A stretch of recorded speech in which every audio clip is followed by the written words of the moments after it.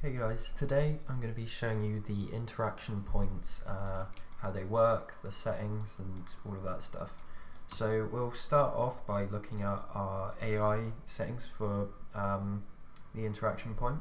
So we'll just select one of our AI, go to our AI component, and I'm going to search for uh, interaction points, oh, points, sorry. Um, and then straight away, like the other behaviors, we have our um, interaction point anims.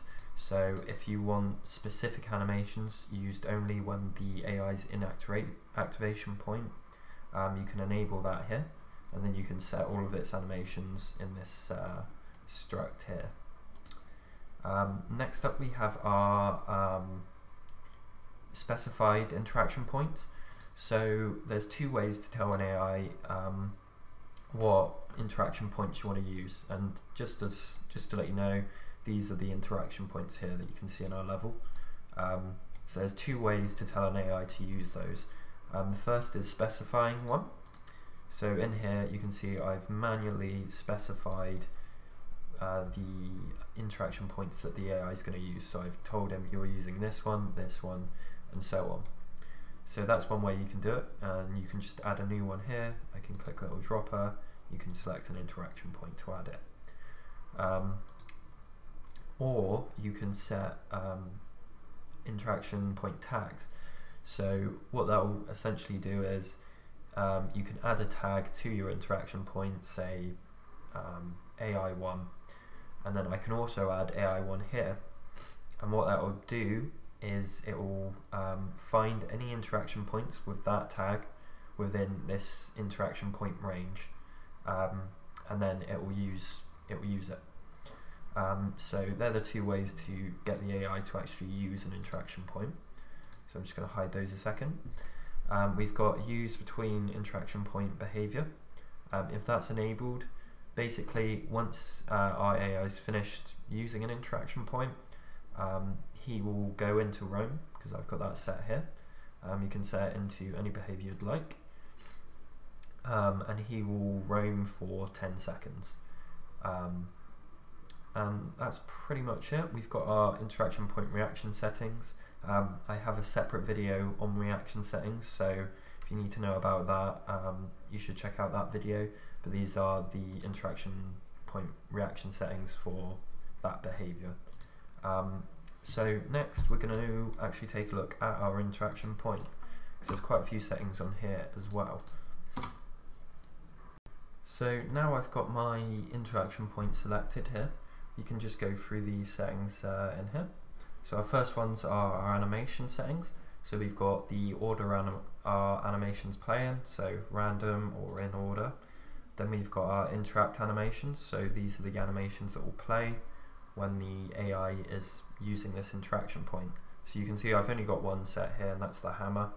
Um, uh, so you can add more, remove them and so on. Uh, then we've got our start animation.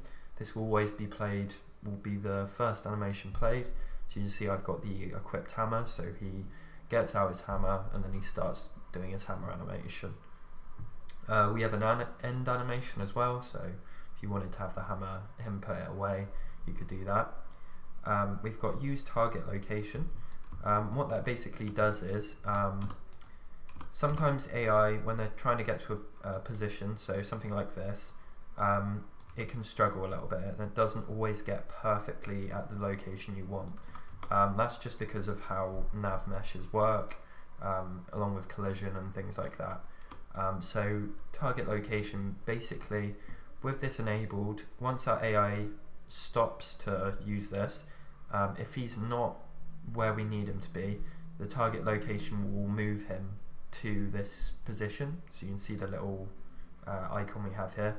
Um, so that he's, we know that he's in the right place to play his animation. Um, so that's what use target location does. Um, then we have loop animations, so that's basically um, if you have this set to in order, once he's finished this animation, if there's none left to play, loop animations is true, he'll loop through them again. Um, then we have animation location speed. That's basically the speed of which um, the AI will be moved to the target location. Um, then next we have our interact time. Um, so this is the amount of time the AI will use the interaction um, point. And then our variation, so adds or minuses to give some randomization. Um, next, uh, we have the debug settings. So you can see um, I'm kind of, right now I'm previewing this animation at the target location. So you can see I can um, select our target location here and I can adjust his position. I will just turn off grid snapping and I can adjust his position and location like that.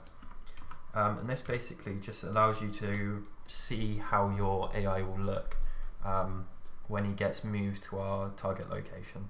So that's very useful. Um, and uh, you can change those um, settings here. So you can change the animation.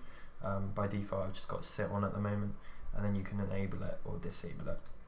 Um, so that's pretty much all the settings. Um, hopefully you guys found this useful.